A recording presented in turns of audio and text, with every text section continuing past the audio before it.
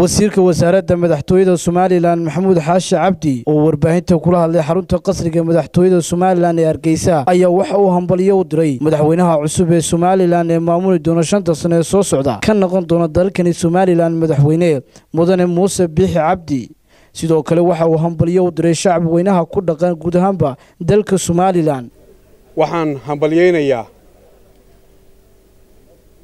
musharaxa jegada madaxweyne madaxweynaha cusub ee ku guulaystay jegada madaxweynenimo mudane muuse biixi cabdi iyo madaxweyne ku-xigeenka jamhuuriyadda somalilan oo mar labaad ku guulaystay jegada madaxweyne ku-xigeenka jamhuuriyadda somalilan mudane cabdiraxmaan cabdilaahi ismaaciil saylici. Guushaa ay xisbi ahaan kulmiye gaadhay iyo xilkaa loo doortay intaba waa ku hambalyaynayaa hambalyo iyo bogaadin u jeedinayaa guddiga doorashooyinka qaranka oo muujiyey xilkasnimo isku duubni iyo xilgudasho aad u weyn oo doorashadaa ku maamulay si mas'uuliyad iyo mudakarnimo leh. Aan hambalyo iyo bogaadin u jeedinayaa ciidamada qaranka jamhuuriyadda somalilan oo si geesinimo leh u gutay xilkii ka saaraa qaranka ilaalintiisa adkaynta amniga dhammaantood waana wax maanta lagu faano in ciidamadeennu ay leeyihiin awoodda iyo qudradda.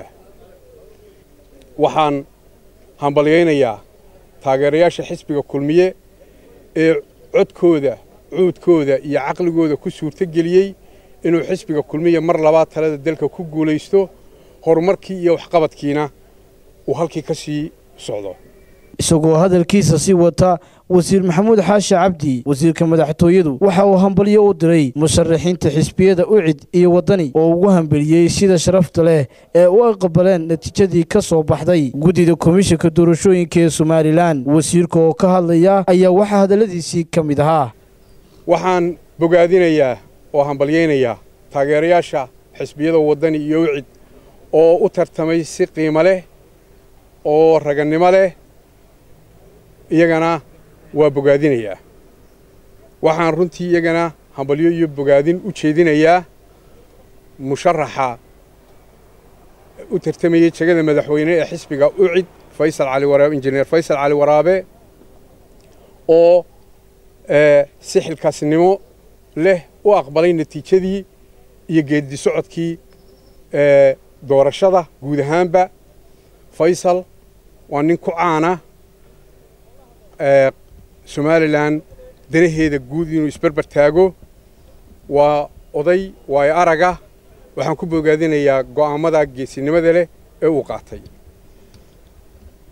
Sidoo kale waxaan bogaadinayaa guddoomiyaha xisbiga waddani oo u tartamayey musharaxii ahaa u tartamayey jegada madaxweynenimo ee xisbiga waddani mudane cabdiraxmaan maxamed cabdilaahi ciro aqbalaaddii uu natiijadii aqbalay.